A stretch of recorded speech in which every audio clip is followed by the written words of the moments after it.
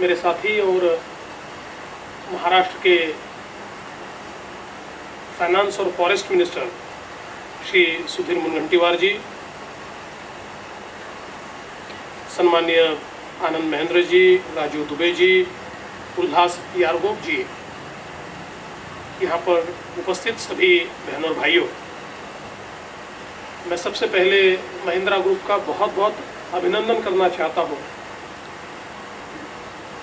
कि उन्होंने 2007 से एक बड़ा ही महत्वपूर्ण मिशन अपने हाथ में लिया और एक करोड़ तीस लाख वृक्षों का रोपण देश में उन्होंने किया और इस साल भी करीब 10 लाख से ज़्यादा वृक्षों का रोपण महिंद्रा ग्रुप की ओर से होने वाला है।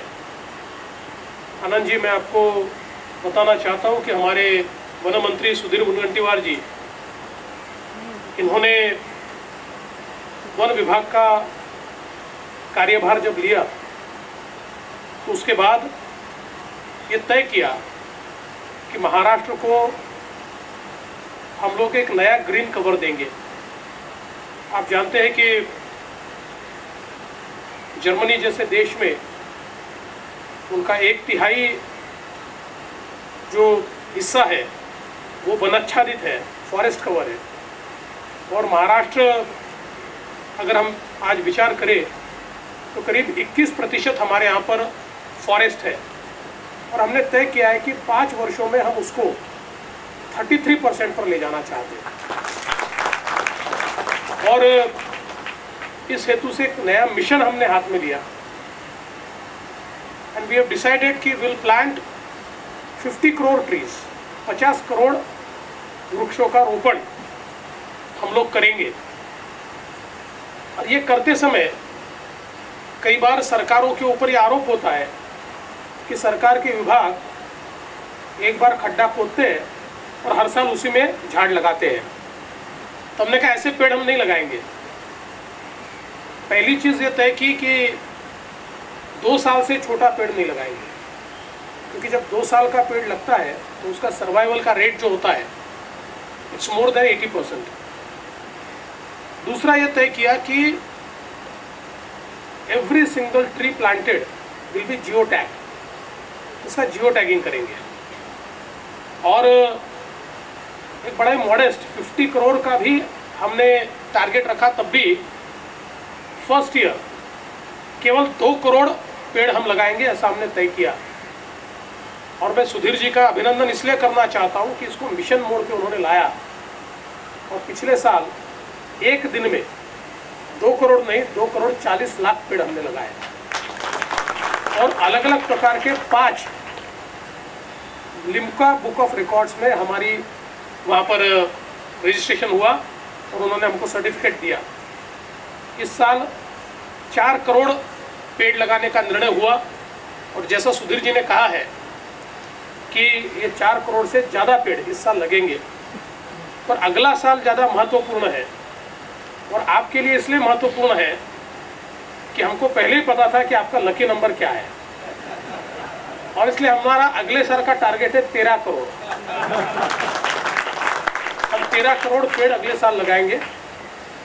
और कुल मिलाकर उसके अगले साल बचा हुआ टारगेट हम कंप्लीट करेंगे और इसके लिए उतने गड्ढे तैयार करना नर्सरीज में उतने पेड़ तैयार करना, ये सारी चीज़ें बिल्कुल ठीक ढंग से हमने की है। उन पेड़ों को हम ट्रैक करते हैं और हमारा भी रेट ऑफ़ सर्वाइवल ये इसी दरमियान का अलग अलग जगह अलग अलग है बट मिनिमम भी 65 परसेंट और कई 80-85 परसेंट तक भी हमारा रेट ऑफ़ सर्वाइवल गया है। तो मुझे लगता है कि महिंद्रा का जो मिशन है, ये महाराष्ट्र सरकार के मिशन के साथ अलाइन करके हम महाराष्ट्र के मिशन को आगे ले जा सकते हैं। हम सभी लोग जानते हैं कि आज सबसे बड़ी समस्या अगर कोई होगी तो पर्यावरण की है। हम लोग लगातार सूखा झेलते हैं, पर ये सूखा कोई नेचर ने दिया हुआ नहीं है, ये मानव निर्मित है। क्योंकि हमारी जल, ज़मीन और जंगल, ये तीन चीज़ों का संवर्धन जब तक हम नहीं करेंगे, तब तक हम पर्यावरण का संतुलन नहीं रख सकते। और महाराष्ट्र सरकार ने इन तीनों चीज़ों को एकदम अपने फोकस पर लिया है और हमारा एजेंडा पिछले दो ढाई सालों में उसी के ऊपर चल रहा है। जल के लिए हमने वाटरशेड का डेवलपमेंट शुरू किया और जलयुक्त शिवार इस हमारी योजना के तहत इतने बड़े पैमाने पर काम हुआ, आपको आश्चर्य होगा कि पिछले वर्ष महाराष्ट्र में 5000 टैंकर हमको पानी देने के लिए लगते थे। इस वर्ष हमने केवल 500 टैंकरों से पानी दिया है। और हमारे करीब 11000 गाँव इस साल के अंत तक ये सूखा मुक्त होंगे और वो वाटर न्यूट्रल होंगे। उन गाँवों को जितना पानी लगता है उतने पानी का कंजर्वेशन उन्हीं गाँवों में वो करेंगे और सस्टेनेबली उसको यूज़ करेंगे। और हम लोग अगले दो सालों में और 10 से ग्यारह हज़ार गाँव इस प्रकार से सस्टेनेबल करना चाहते हैं। तो पानी के मामले में भी हमने ये तय किया कि हमारी जो वाटर बॉडीज़ है, उन वाटर बॉडीज़ को हम कंजर्व कर रहे हैं। नमामि चंद्रभागा जिसका उल्लेख सुधीर जी ने किया, एक बड़ा ही अच्छा फ्लैगशिप प्रोजेक्ट उन्होंने हाथ में लिया है। और जो हमारी भीमा नदी है, जो पंडरपुर तक जाकर चंद्रभागा बनती है, बहुत पोल्यूटेड है। उसका कंप्लीट पोल्यूशन हम लोग समाप्त करेंगे। उसमें जाने वाला इंडस्ट्रियल एफ्लुएंट हो या शहरों का जो जी जो गंदगी उसमें जाती है, केवल ट्रीटेड वाटर उसमें जाए, इसकी व्यवस्था हम कर रहे हैं। और नदी के किनारे बड़े पैमाने पर हम लोग वृक्षारोपण करेंगे। और जैसा हम सभी जानते हैं कि अगर नदी के किनारों पर हम वृक्ष लगाएँगे तो वो पानी को भी पकड़ कर रखेगा और साथ ही में जो हमारा सॉइल का भी स्खलन होता है, उसको भी वो रोकेगा और उससे हमारी नदियाँ जो है वो सस्टेनेबली रहेगी। और ये करते समय चूँकि उसके आसपास किसानों की खेती होती है और किसानों का आय का ज़रिया ये खेती होती है तो ये नहीं चाहता कि वहाँ वृक्ष लगाए। लेकिन अगर हम उसको हॉर्टिकल्चर का ऑल्टरनेटिव दें और फलों के वृक्ष अगर हम उसको दें और वो फलों के वृक्ष लगाए तो वृक्ष भी रहेंगे और किसानों को बड़े पैमाने पर उसमें से आमदनी भी होगी। आज वो नॉर्मल क्रॉप लेते हैं, उससे ज़्यादा आमदनी उसको हॉर्टिकल्चर के माध्यम से हो सकती है। तो इसका भी बड़ा बृहद प्लान हम लोगों ने तैयार किया है, कोकण में भी पाँच नदियों का पुनरुज्जीवन हम लोग कर रहे हैं। तो जल का भी हम काम कर रहे हैं, ज़मीन का भी काम कर रहे हैं। ज़मीन का क्योंकि महाराष्ट्र का सॉइल ऐसा है कि ये बहकर चला जाता है। आज हमारे किसानों की प्रोडक्टिविटी कम होने का कारण ये भी है कि बड़े पैमाने पर यह सॉइल बहकर नदी में या नालों में या हमारे तालाबों में चला जाता है। और एक सिल्टिंग के कारण वहाँ का वाटर स्टोरेज भी कम हो जाता है और उसका प्रवाह भी बाधित होता है। तो हम लोग एक कंप्लीट डिसिल्टिंग कर हैं और हमने ऐसी योजना तैयार की है कि डिसिल्ट करके हम जो वहाँ पर गई हुई सिल्ट है वो बहुत प्रोडक्टिव सिल्ट है। वो अगर सिल्ट अगर आप किसान की खेती में डाल दे तो तीन चार साल उसको रासायनिक खत यूज़ करने की आवश्यकता नहीं है। तो रासायनिक खादों से भी उसको मुक्ति मिल सकती है। तो एक बृहद कार्यक्रम हमने हाथ में लिया है, जिसमें ये सारी मिट्टी उठाकर हम लोग किसानों को दे रहे हैं।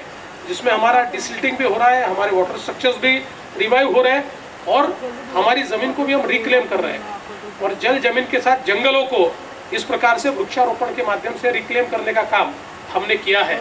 मुझे ऐसा लगता है कि बड़ा ही बृहद कार्यक्रम हमने हाथ में लिया है और हमारे सुधीर जी ने इसमें बहुत अहम भूमिका निभाते हुए एक बड़ा ही मिशन मोड उसको दिया है। आज सात दिनों का ये जो वृक्षारोपण का महोत्सव है, ये एक it has become a cultural event and every single person is participating अलग अलग ग्रुप से अलग अलग लोग हैं अपने अपनी क्षमता के अनुसार इसमें पार्टिसिपेट कर रहे हैं। आपने तो हमसे पहले ही ये कार्यक्रम शुरू किया है। आप तो इस कार्यक्रम में बहुत सालों से आज तक आप काम करते आए हैं। अब मुझे लगता है कि आपका ये कार्यक्रम और बृहद हो और हमारे इस टारगेट को पूरा करने में आपकी भी मदद निश्चित रूप से हमको होगी। मैं महिंद्रा का इसलिए भी अभिनंदन करना चाहता हूँ कि महिंद्रा ने एक अपनी सोशल रिस्पॉन्सिबिलिटी को बहुत अच्छे तरीके से निभाया है। आप केवल गाड़ियाँ या ट्रैक्टर बनाने वाले लोग नहीं है तो उसके साथ साथ पर्यावरण का विचार करने वाले भी लोग हैं। और मैं ये चाहता हूँ कि इसी प्रकार से अपनी सोशल रिस्पॉन्सिबिलिटी को अगर हमारे सारे उद्योजक समझे तो हमारा देश बदलने में बहुत समय नहीं लगेगा। लेकिन आप विलेज ट्रांसफॉर्मेशन में भी हमको साथ दे रहे हैं। बड़ा एक बृहद कार्यक्रम हमने हाथ में लिया हुआ है। अलग अलग प्रकार के आपके जो इनिशिएटिव्स हैं, ये निश्चित ही काबिल तारीफ़ है। मैं महाराष्ट्र सरकार की ओर से महिंद्रा ग्रुप का बहुत बहुत अभिनंदन करना चाहता हूँ और अपेक्षा व्यक्त करता हूँ कि इसमें और तेज़ी आप लाएँगे, इसमें और बढ़ोतरी आप करेंगे। और हम सब लोग मिलकर, हमारी वसुंधरा को, हमारे देश को, हमारे राज्य को और हमारे प्लानट को एक अच्छी जगह बनाने के लिए प्रयास करेंगे अपना अपना कंट्रीब्यूशन देंगे, ताकि कम से कम ये तो हम कह सके कि हमने जितना लिया, कम से कम उतना वापस किया, ये भी अगर हम कर पाए तो मुझे ऐसा लगता है कि अपने जीवन में ये हिसाब अगर ठीक हो जाए तो इससे बड़ा कोई दूसरा हिसाब नहीं होता। और वो ठीक करने के लिए आपकी मदद निश्चित रूप से होगी। मैं आपका बहुत बहुत अभिनंदन करता हूँ। महिंद्र हरियाली इस इनिशिएटिव को बहुत बहुत शुभकामनाएँ देता हूँ और अपने शब्दों को विराम देता हूँ। जय हिंद, जय महाराष्ट्र।